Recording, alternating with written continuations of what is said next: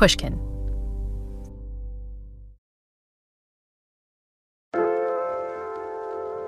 I'm going through a breakup right now.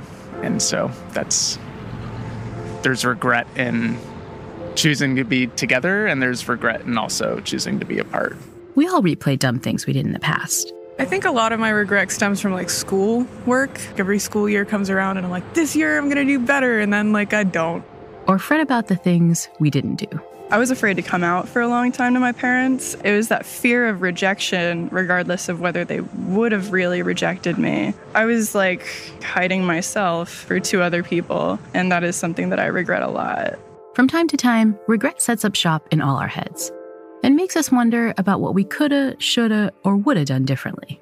I done a lot of mistakes. Like I spent a lot of money. I paid for a lot of people. I got used by a lot of people, and I did not know my worth. Our feelings of regret mostly kind of suck. We can experience it as a mild pang, a sort of throbbing emotional toothache, but sometimes the anguish of regret reduces us to tears or saddles us with grief that lasts a lifetime.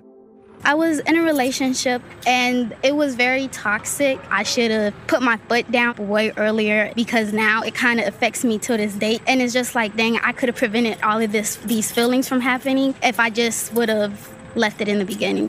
And so it's natural to fantasize about a life without this painful emotion, to strive to be without the burn that comes from looking back.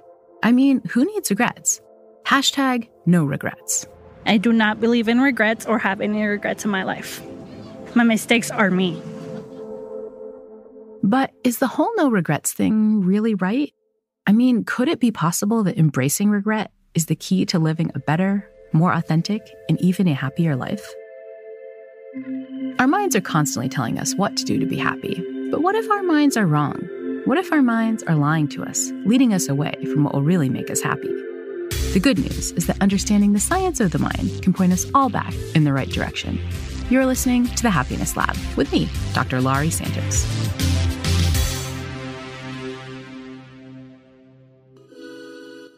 Hey, I'm Malcolm Gladwell. Here's my regret.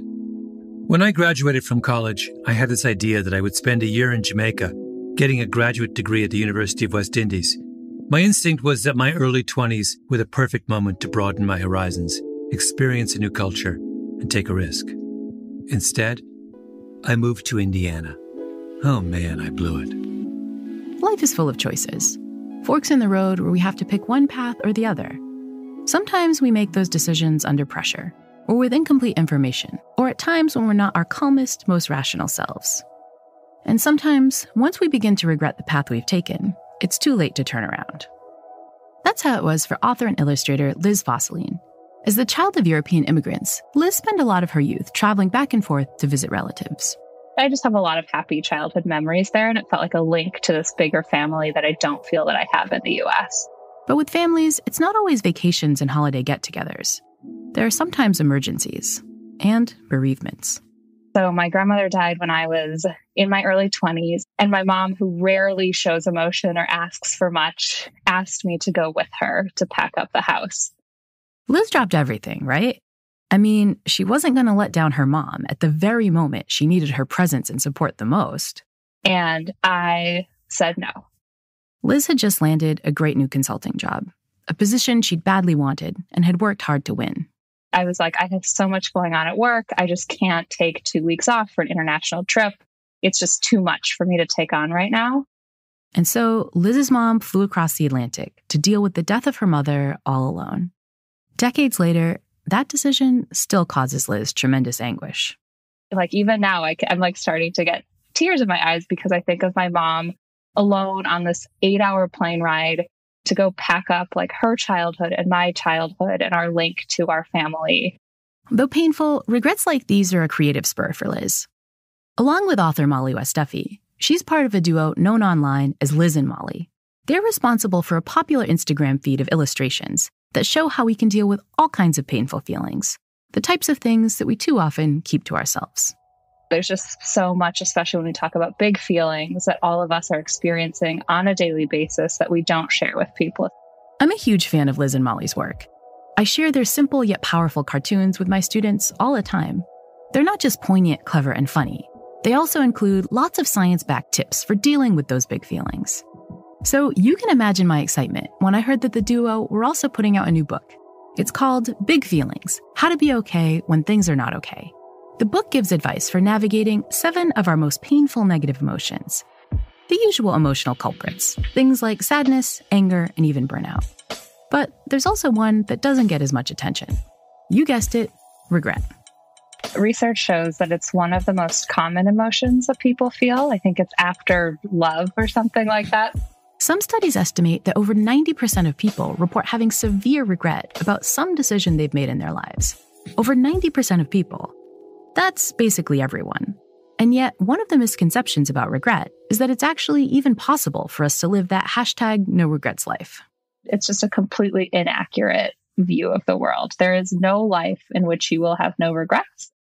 A second misconception goes something like this Okay, so maybe I can't have a perfectly hashtag no regrets existence, but I'd definitely be able to have a hashtag mostly no regrets life if only I could get everything I want. We assume that if we had the perfect job and a swanky house and an amazing partner, we'd never experience that painful twinge of what if. But this too is a spot where our minds are lying to us. And part of that is because you can only choose one life. Even if your current life path is mostly awesome, there's probably something great out there in the universe that you're not going to get a chance to experience. Another fork in the road you could have chosen but didn't. And sometimes we can't help but regret not taking it. And we also have a tendency to put on rose colored glasses when we consider that alternate path, especially in moments when our current reality is a little harder. I feel like we have a lot to learn about regret. So I decided to call in an expert. My name is Daniel Pink. I'm the author of The Power of Regret How Looking Backward Moves Us Forward. Daniel developed what he calls the World Regret Survey, which collected the experiences of tens of thousands of people from more than 100 countries. It's one of the largest databases of regrets ever. With all that data to draw on, I was hoping that Daniel could give us a bit of a crash course on regret, starting with a definition. I think one way to start is that a regret is an emotion, and it's an emotion that makes us feel bad. And it's emotion that arises from, I think, some really fascinating and interesting powers of our brain. Regret requires a few complicated and possibly unique cognitive abilities. The first of these is the ability to accept blame. Unlike other negative emotions, like, say, disappointment, regret requires agency. We can only regret stuff that we caused. You experience regret because it's your fault. Regret also requires the capacity to time travel. Regret forces us to hop in a mental time machine and travel back to some remembered event of the past. And once we get there, our brains engage in a third impressive cognitive feat, what Daniel calls fabulism. We imagine making a different decision than we actually made. And then what's even more crazy is that we negate that experience. We get back in our time machine. We arrive back in the present and we now see a present that is reconfigured because of this decision that we've undone in the past. And that's the final cognitive superpower we engage in when feeling regret, what's known as counterfactual thinking. We create a new, completely imaginary timeline that runs counter to the facts. And there are two kinds of counterfactual thinking. One of them is known as a downward counterfactual, so that is, we imagine how things could have been worse. Downward counterfactuals often involve the phrase, well, at least. So let's say you miss your morning flight because you spent too long getting ready. You might engage in a downward counterfactual and say things like, well, at least there was a later flight, or, well, at least I didn't miss my connection. Downward counterfactuals help us remember that it could have been worse. They usually make us feel better. But less helpfully, we also engage in upward counterfactuals, which is how you imagine things could have been better. Upward counterfactuals make us say, if only. If only I had spent a year in Jamaica. If only I had helped my mom when she needed me. If only I had done this thing or that thing differently, then everything now would be so much better. I kind of regret going to college. I might have like ended up, I don't know, working on a flower farm. Upward counterfactuals convince us that we've totally screwed things up. They kinda make us feel like crap. And sadly, they also dominate our thoughts. Because uh, I'm a, a lawyer. But it would have been nice to find something that I'm passionate about an actress, a science teacher, or I'm going to be a doctor because I love health, nutrition, that kind of stuff. Researchers have looked at how often we use each of these two kinds of counterfactuals. Those painful, if only counterfactuals they beat out the nicer feeling of at least counterfactuals more than 80% of the time. We are biased, on this case, toward the negative. We're biased toward the upward counterfactual, toward the if onlys. I think the interesting thing here as we try to sort out the puzzle is, you know, why would we do that? why would we be prone to do something that makes us feel worse? And so there must be something about this that confers a benefit. There must be something about this that is adaptive. So becoming happier must involve banishing those negative if onlys, right? Well, Daniel argues that wouldn't be such a smart thing to do. I'm all for positivity, all right? I'm all for positive emotions. But here's the thing I don't want to have only positive emotions because negative emotions serve a function. I think that no regrets, the, the, philosophy of no regrets, that you should never look backward, you should always look forward, never be negative, always be positive, is a profoundly bad idea. I think it is an unhealthy recipe for living. I think what we have to do is actually use our regrets as information, as signal, as data, not ignore them, not wallow in them, but use them to help clarify what we value and instruct us on how to live better. When we get back from the break, we'll explore just how we can use these if onlys to live a better life. We'll see that regret can be a critical signpost for the version of ourselves that we most want to be. And we'll see that if we better understand that ideal self, we can start to use this painful emotion to live a healthier, happier, and more authentic life.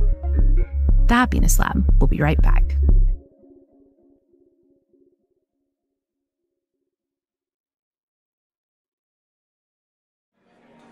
I'm Maya Shankar, host of A Slight Change of Plans. When I was around 11 years old at summer music camp, I had the biggest crush on another violinist, Shunsuke Sato. He was cute, a total violin prodigy, and was really funny too. I thought maybe he liked me as well, but I could never tell for sure. One day, a mutual friend of ours just asked me point blank, Hey, do you like Shunsuke? I think he might like you.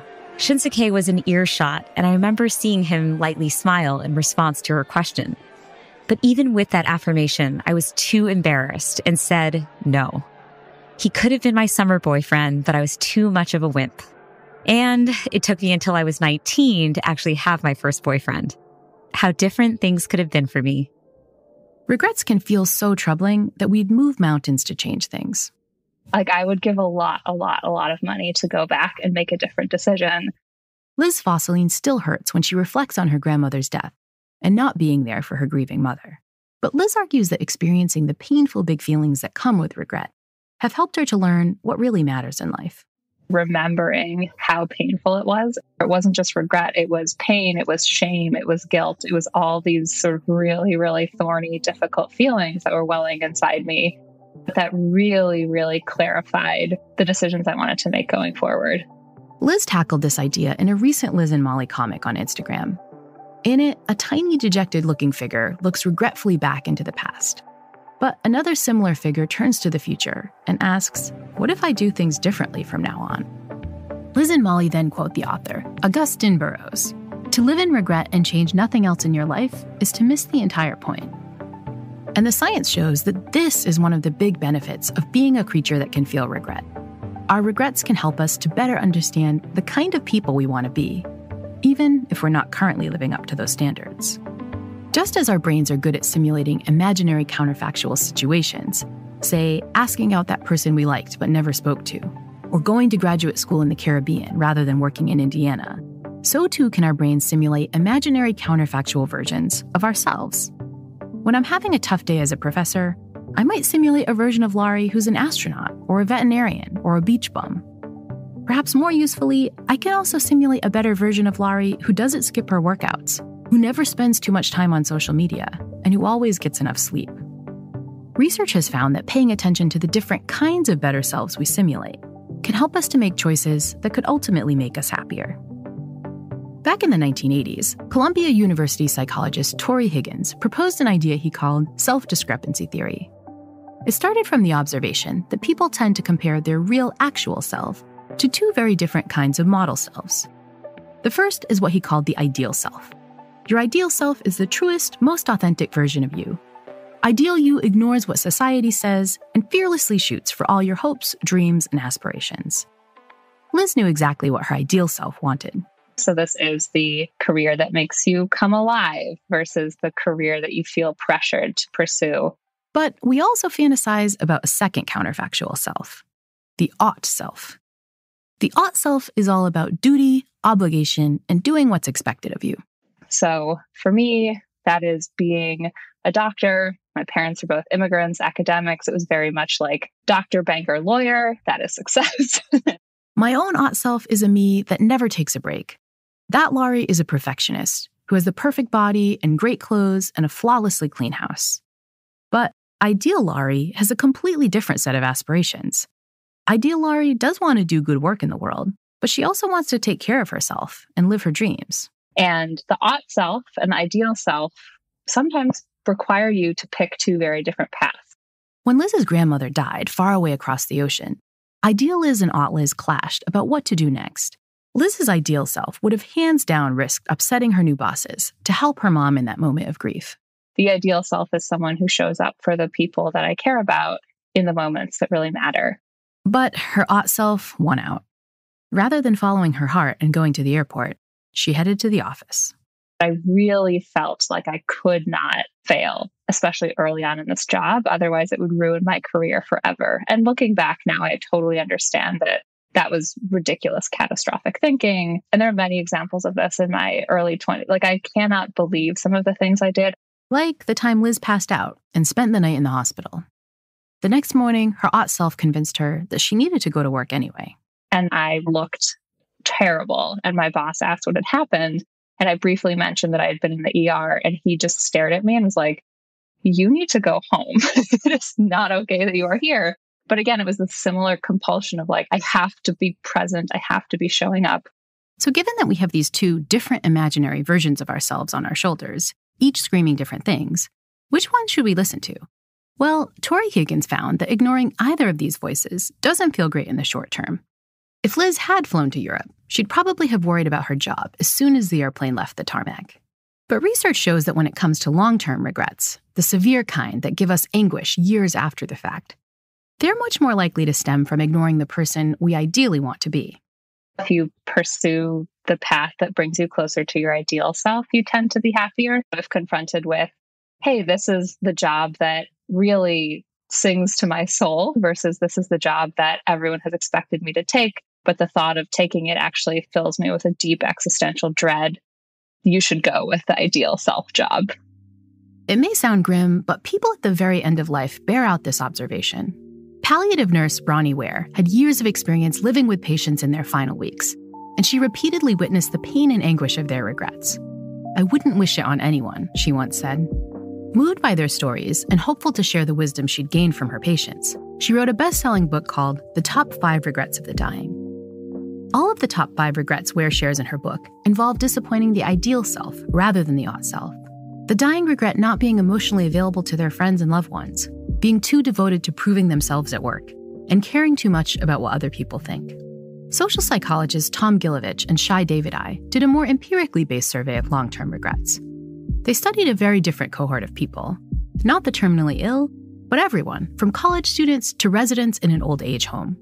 People's regrets about not living up to the person they ideally wanted to be far outnumbered their regrets about not living up to what they ought to do to please bosses, neighbors, or the wider society. Findings like these have shaped how Liz now listens to her two different counterfactual selves when I'm faced with something and when I have this little voice within me that says, like, oh, but work is really busy this week, I'm like, no, remember the pain that you're trying to avoid in the future. Just put that sort of perfectionist ought self to the side and go show up because that's what's going that's what you're going to remember in 10 years. I truly do not know what I was doing at work that week. I can tell you nothing about the project I was working on, about how it turned out. It just wasn't as important in the long run. Liz is now convinced that past regrets are great learning points. That recent Liz and Mollie cartoon I mentioned also included an important quote Regrets can be burned as fuel. But regrets burn hot, and we can only become better people if we're committed to directly embracing our regrets and the pain they cause. Because I think when we do that, there's a lot of evidence that it is a powerfully transformative emotion. The Happiness Lab will be right back.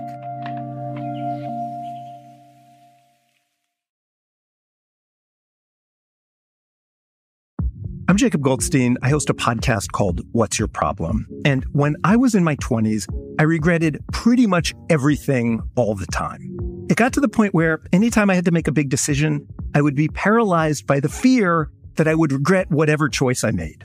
It was like pre regret, pre-gret. Eventually, I, I mostly got past it. I came to trust myself more, feel better about my decisions. Regret, thankfully, is no longer a big part of my life. But I guess I do still regret a little that I spent so many years of my life living in fear of regret. One of the interesting things about regret is that people want the instruction that comes from regret. They just don't want the bad feeling. And and and that's not the offer that's on the table here. If we can tough out the discomfort, author Daniel Pink thinks we can learn valuable lessons from our regrets if we get past this kind of fog machine that we should never have regrets, that we should always be positive, we can look at this emotion and say, it's telling us something, it's teaching us something. And if we actually think about our regrets differently, we can enlist them to lead a better, more fulfilling, more satisfying life. Daniel's extensive survey of regrets around the world taught him that the only way to learn from this painful emotion is to let ourselves feel it. As much as we'd like to, we can't fast forward through the painful parts of our regrets. The reason they make us do better is because they make us feel worse. And once you experience the pain, you can commit to doing better. But how? Daniel says the first step is determining the specific category of regret you're dealing with. So there's an interesting distinction in, in the architecture of regret, which is the distinction between action regrets and inaction regrets. Regrets about what we did and regrets about what we didn't do. So let's take action regrets, regrets about what I did. Those are things that you can undo. When I think of such situations, I'm reminded of the advice of life coach Valerie Burton, who I spoke to for a previous episode about dealing with guilt. Valerie said that the first steps to dealing with our action regrets are to admit what we've done assess the damage done, apologize for our actions, and then atone as best we can. So if you regret saying something mean to a friend, you should apologize. If you carelessly broke your work buddy's favorite mug, you should buy them a new one. Undoing doesn't mean erasing what you did, but you can acknowledge your actions and make amends for the damage, at least a bit. But if the regret you're experiencing stems from an inaction, something you didn't do yet, then the solution is also clear. If possible, you should do the thing you haven't gotten around to doing yet. As the old saying goes, the best time to plant a tree was 20 years ago, but the second best time is now. Daniel's survey results demonstrated the importance of fixing inactions as soon as possible. One of the biggest domains in which Daniel observed the painful consequences of inaction regrets was in our social relationships. Which are, if only I'd reached out. And the typical pattern was a relationship comes apart usually in very, very undramatic ways. It's like there's not yelling and screaming and it was just like things drift apart. Your relationship drifts apart. And then what happens is that one person wants to reach out and they say, oh, it's going to be really awkward if I reach out and the other side's not going to care. So they don't.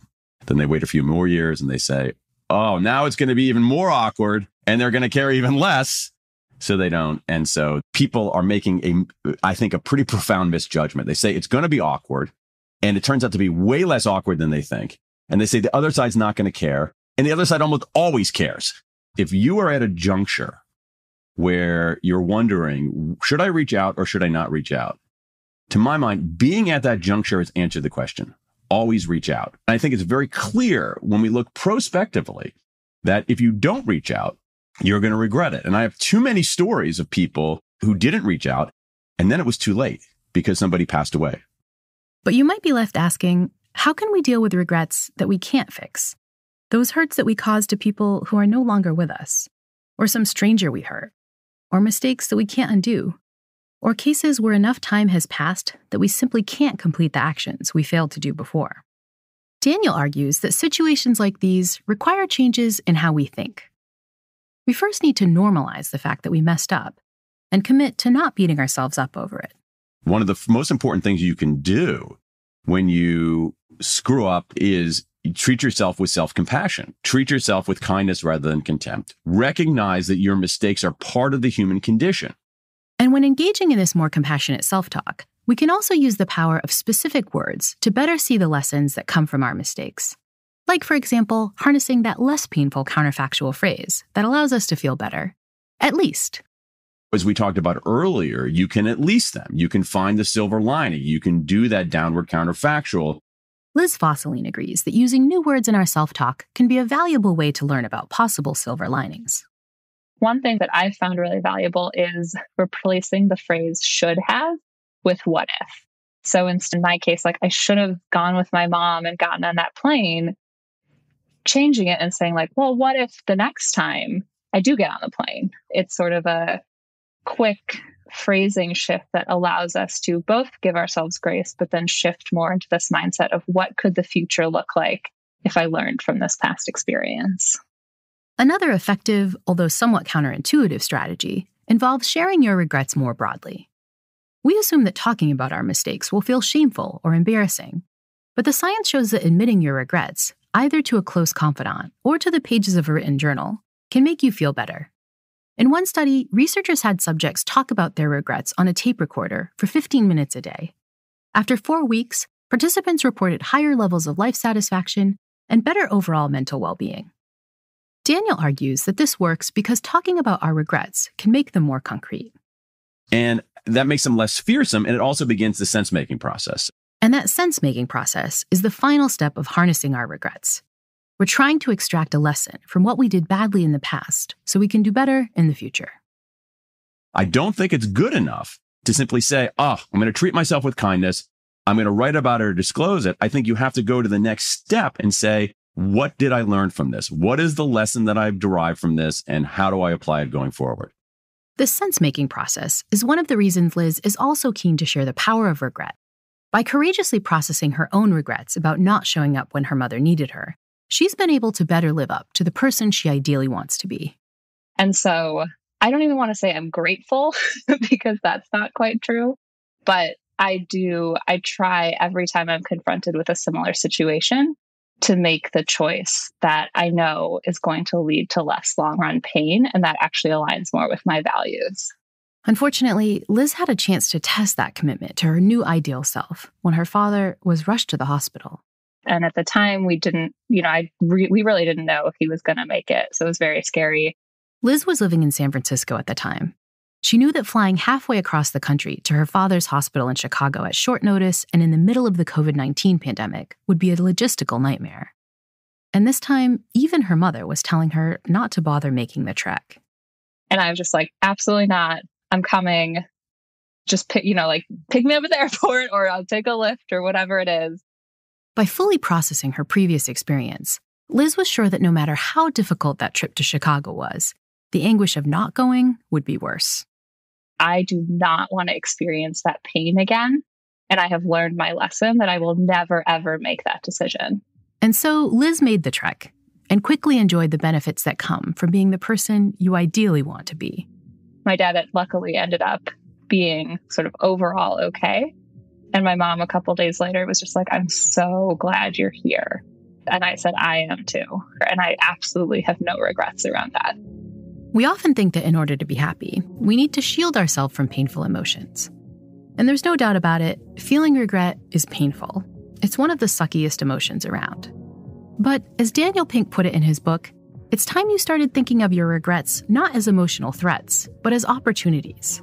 If there's some past action that makes you cringe, fix it didn't take on that big challenge your ideal self was pushing for, do it now.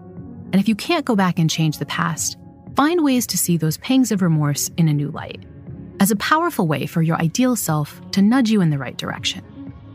And if your ideal self wants to avoid at least one future podcast regret, then I'd encourage you to come back soon for the next episode of The Happiness Lab with me, Dr. Laurie Santos.